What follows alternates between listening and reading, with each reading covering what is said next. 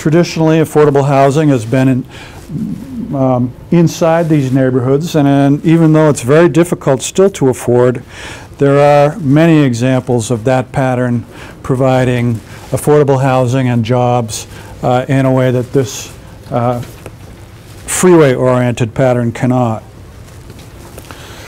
Provide a diversity of housing types then is the ancillary to this, provide good jobs close to homes.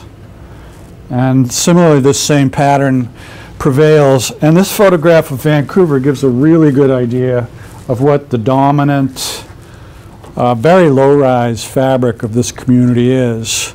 The tourist posters always show the downtown towers, but we know that this city is largely a low-rise city, and this is the consequence of its evolution around the streetcar, basically between 1890 and 1940.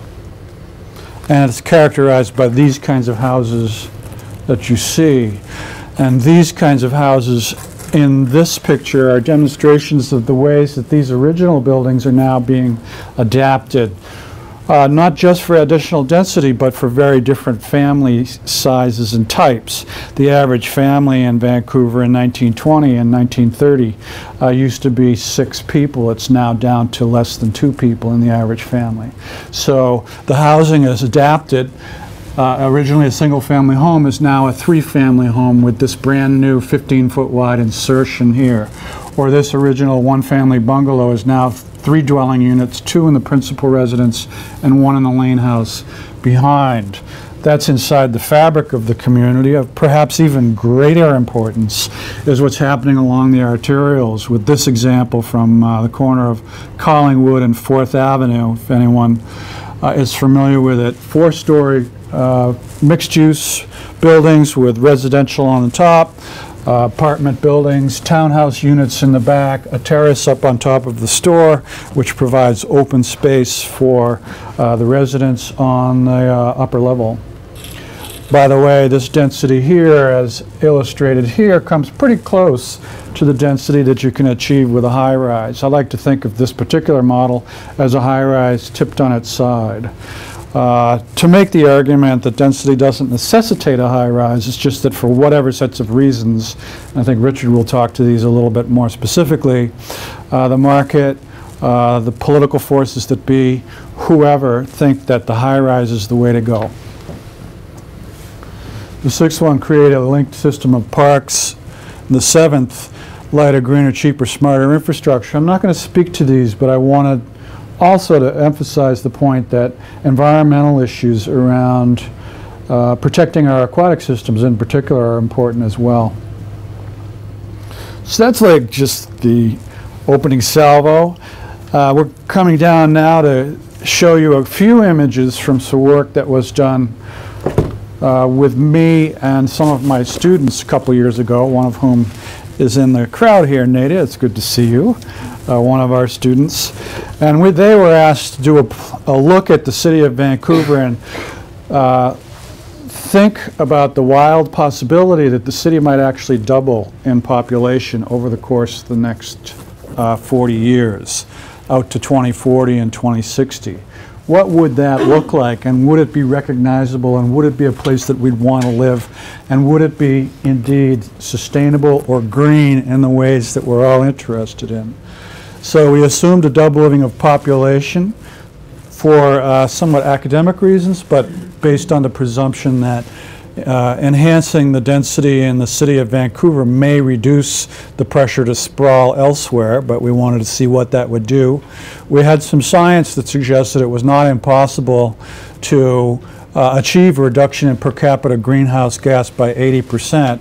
And a big part of that was to achieve an 80 uh, a target of 80% of all trips in the city by biking, walking, and transit. Wow.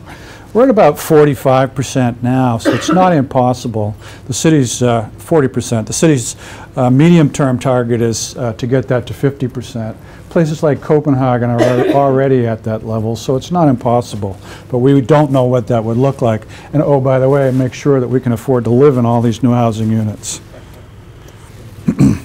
Uh, that work's been featured in many places, including the Tyee, so there's more details available just by Googling uh, to that work. The work was very extensive. It's amazing what you can do when you have 25 students who are working 40 hours a week for no pay.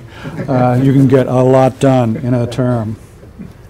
So there's a lot of detail, but it comes down to this. This was a, a map that in its original size was way bigger than this wall. It was at least as wide as the wall and twice as tall as the ceiling because these were uh, one meter square maps that people were working on. so every house necessary to uh, provide that additional, it turns out to be a couple hundred thousand dwelling units is shown there, as well as the job space uh, required to keep those good people occupied. So zooming in a little bit, the north, uh, the northeast quadrant of the city, anywhere you see uh, brightly colored area is an area that uh, the students suggested would be a, a good candidate for additional density. And you can start to see the pattern emerge where the arterials close to transit, uh, uh, typically on top of one-story commercial buildings that exist there now, uh, became the logical place to put that additional density. And coming in yet even further, you can see the great attention to detail that the students applied to make sure that they knew where each and every one of those dwelling units might arrive. If you happen to live in one of these parcels, my apologies. This is, this is we're looking at a 2050, so the bulldozers are not going to show up tomorrow. But the most, what that really results in, uh, that's a lot of detail and a lot of individual things. What's important, I think, for this conversation is what that means in terms of the fundamental pattern that emerges. So this first pattern is what emerged in terms of the intensification of existing landscapes around corridors and nodes, places that we're all uh, quite familiar with. For example, you see a commercial right there where, uh, where we are right now. And that suggests, and, and, the students came up, oh, this is painful that this uh, projector is so whitewashing all these beautiful drawings. But this is a beautiful drawing showing a prototypical possibility, less than four stories in this case, uh, that included uh, live work, uh, commercial, uh, workshop space, as well as a substantial number of new housing types that integrated back into the existing neighborhood. Uh, job space, of course, is necessary. You need space for that um, additional uh, 200,000 jobs in the community if you're imagining a doubling. And without getting into great detail, this is an example from False Creek, False Creek Flats. The green systems are preserved and this place is knitted into the community rather than separated away from it. What we thought was almost the most important part of it was this concept of the green grid so that certain streets within the city, if you reduced the use of the automobile by 50 to 80 percent, that means that the pressure on streets would be consequently reduced. Opens up the possibility to use our streets in different ways, where streets would become greened and opportunities for green for green uh, for gardening, for uh, outdoor play, for uh, ecological habitat, and a whole number of things. Uh, bikeways, of course, and a whole number of things that they're presently not capable of uh, supplying citizens. And uh, all within the larger framework of preserving, protecting, and extending the existing system of large parts, parks and ecological locations building new housing can actually be a way to restore the existing, uh, the, the stream system that did once exist. This is a salmon stream that uh, did exist, which in the context of adding additional density or new housing could be restored and revived so our stream system comes back after having been buried for so long. So at the end of the day, all those patterns go together, and that's what the students suggested was the pattern for a city of uh, 1.4 million people. What's interesting about this is that uh, that that that uh, fairly substantial increase in the population of the city was achieved without high rises. To be perfectly fair, there was a couple suggested, uh, one at 41st and uh, Cambie, and uh, another one where there are some existing high rises there. And it wasn't a prohibition in the class, but generally the students felt that those, the density targets which uh, uh, their, their faculty, me, supplied could be met without the nec- the necessity of high-rise. Um, That pattern, however, uh, does necessitate thinking about transportation and how are you going to move around this original streetcar city, add that density to that original streetcar city, uh, and respect the existing framework of the city as we find it, particularly outside doors such as these. Uh, And it raised the question of, well, really, how are we spending our transportation dollars now? So this is why this intersects with a question that's not really on the table today, but I actually think it is on the table. The, uh, the uh, Broadway subway is being touted as the transportation answer for our city, and in the same breath, they're saying it requires incredible additional density in order for it to make sense. So uh, the expenditure of $3 billion on the subway also calls upon the city, and it's been expressed this way, to rationalize, to make that logical by adding a whole lot of density along the Broadway corridor, i.e. high-rises, 100,000 new uh, uh, residential uh, uh, residents and jobs, as has been expressed in the KPMG report. So this is what $3 billion will buy you in uh, subterranean subway, and this is what the same $3 billion will buy you if you use surface light rail using the same kind of uh, technology that some of us were familiar with from the Olympics in 2010. That's a picture of the Olympic line Bombardier uh, system. So for the same $3 billion, you could basically restore what was the original uh, streetcar system in the city of Vancouver with modern trams, giving people the option of uh, easy and greenhouse gas zero transportation throughout the city to correlate with this vision of an 80% reduction in greenhouse gases. Uh, more than um, almost half of our greenhouse gas production in this city is a consequence of driving our cars. So that's a crucial thing to change. Uh, just to give you the sense that this isn't a, just a one-off, uh, then four concluding slides with some other work that we've done over the years. This one was uh, a 2011 project, City of North Vancouver, hired me and our research group, this was not a student project, but a research group project, to look at a 100-year plan for the city of North Vancouver with a zero greenhouse gas uh, target. And uh, that one there, here again, uh, it seemed to us, based on the sustainability goals, that this city actually had the capacity to grow quite a bit. This was, believe it or not, hold your breath, a tripling of the population of the city of North Vancouver, yet it was over 100 years, and the target was a 100% reduction in greenhouse gases. And I believe that at the end of the day, the place is quite recognizable, uh, and so did the constituents who reviewed this.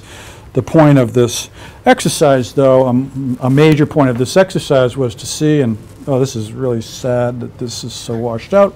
But anyway, imagine, if you will, the city of North Vancouver, and this is its performance now in terms of greenhouse gas generation. the greener it is, the better you're doing. So if you live in those green blocks, you're cool. And that's because your buildings are such that generally, on average, they're performing better. And also, you're using your car less and you're walking more in those areas.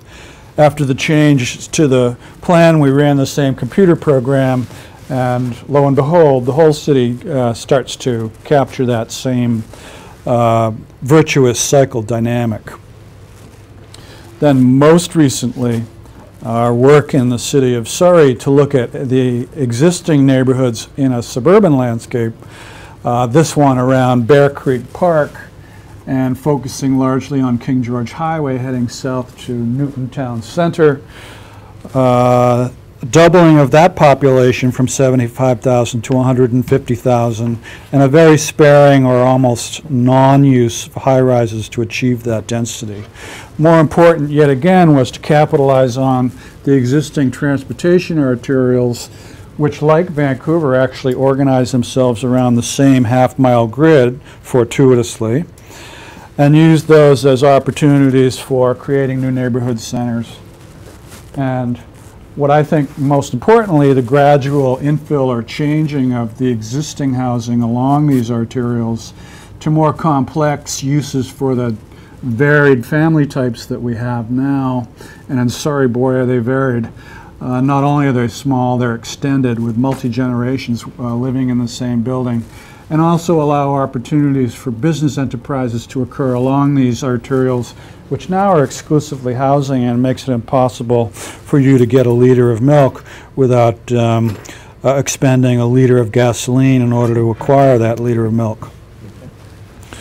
All this taken together leads uh, us to the ability to, again, remodel this with some fairly dependable uh, computer software and showing a 38% reduction in the amount of car use just from these changes in density and an overall 57% reduction uh, by 2050 in the per capita generation of greenhouse gases.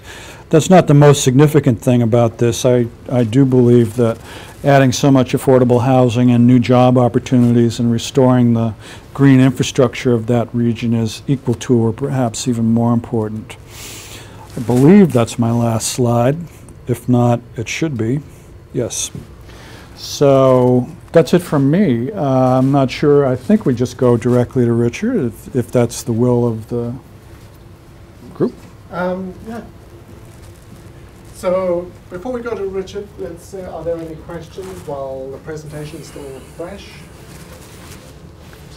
Yeah, I've got a question. Uh, What, what is the most significant factor that makes a, uh, a tower so equivalent, to- a tower on its side, equivalent to a tower standing in, in the sky in terms of? uh, Well, I, I, I fudged a little bit. I mean, typically you'll get somewhat greater density, uh, but not double density out of a tower.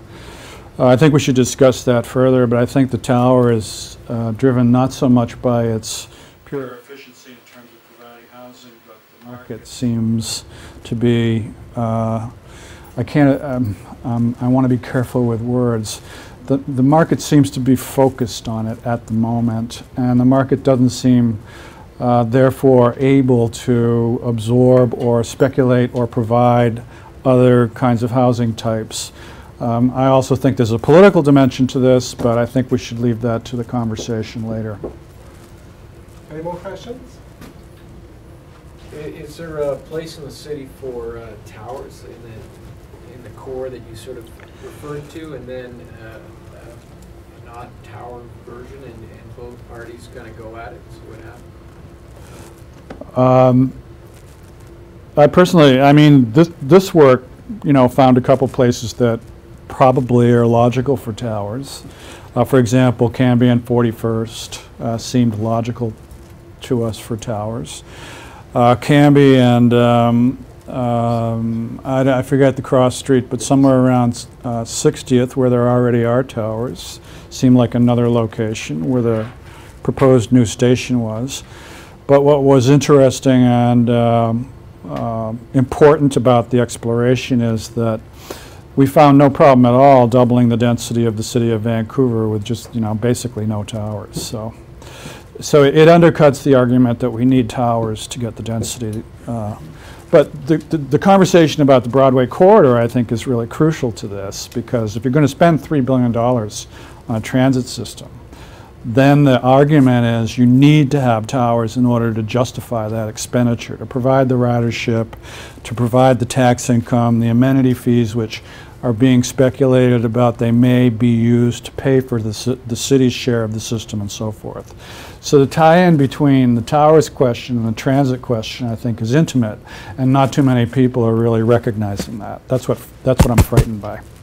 So I think we've got time for one more question, then we'll go to. The, the woman back there then. Patrick, um, I forget the name of the system in Portland, right, the streetcar system there. So how did that city uh, over the dead body of the Regional Transit Authority, actually, quite interestingly. The Regional Transit Authority down there was not keen at all to use the new technology, uh, but it was the city rather than a Regional Transit Authority, which out of desperation paid for it themselves and set up basically their own transit authority. It's now been included. Uh, they felt that that was necessary in order to um, help them um, well, create the complete community that they wanted so that the streetcar system was part and parcel of their plans for the, uh, the so-called Pearl District development, which is a mid-rise development. It's actually quite nice. So that's how that came about. Now they're expanding that system from that original uh, development back in the 90s so that uh, they will, uh, probably this month, complete the Center City Loop. And then they have long-term plans to actually restore the original streetcar system for the city of Portland. So their plans for the next phase of development are exactly to restore the streetcar system that they had in 1925. Yeah, one more, I guess. Okay. I'll make it quick. Yeah, really quick. Um, Laneway homes, do you think as they're being implemented right now, it's a step in the right direction? Is there an ecological argument for them? Sorry, my hearing's bad. Laneway homes. Yes. Do you think as they're being implemented right now, are they a step in the right direction? I do. Okay. I do. And in fact, yeah, I think we should talk about that more later, but the short story is, it, I think it really has to do with the shrinking family size, and we really need to find ways that these parcels that used to have six people living on them can, in one family, can be repurposed for three families in the same parcel. That just simply maintains the existing population. So you have to really subdivide these homes to correlate with this new family size. Okay. So next up is Richard, and um, he wants, uh, my friend Richard wants uh, joked that while he was looking over the urban sprawl that just stretched onward, he was saying, "My job is done." is that about right? Yes, that is correct. He's the guy.